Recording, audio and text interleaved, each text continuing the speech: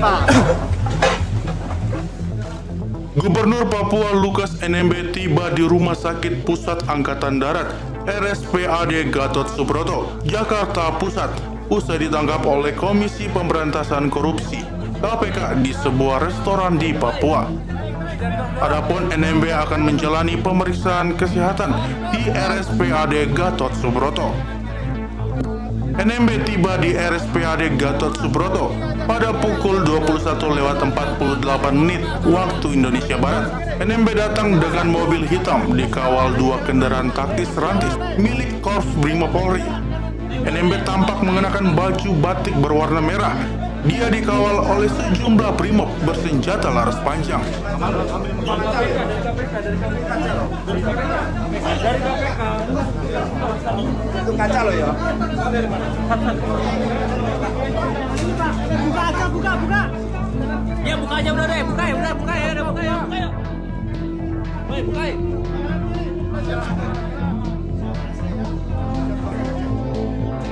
Dia tampak berjalan kaki dengan cara dituntun ke dalam rumah sakit.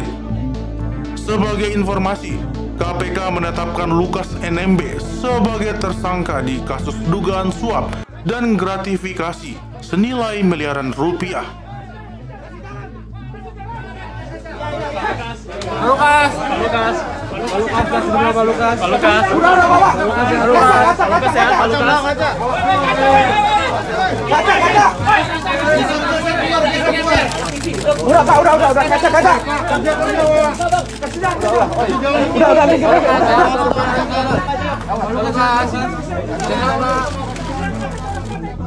Kepala Bagian Pemberitaan KPK Ali Fikri mengatakan Lukas akan menjalani pemeriksaan kesehatan di Rumah Sakit Pusat Angkatan Darat atau RSPAD Gatot Subroto begitu tiba di Jakarta. Ali menyatakan tindakan itu dilakukan semata-mata karena KPK memperhatikan kesehatan Lukas. Terkait pemeriksaan di RSPAD Gatot Subroto, Ali menjelaskan hal itu sudah berdasarkan sejumlah pertimbangan. Juru bicara berlatar belakang jaksa ini menyampaikan pihaknya akan mengungkapkan detail kronologi penangkapan dan konstruksi kasus pada hari Rabu 11 Januari 2023.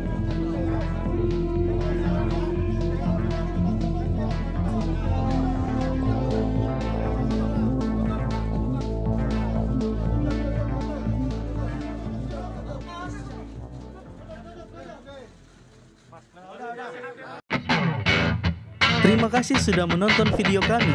Jangan lupa subscribe, like, comment, and share.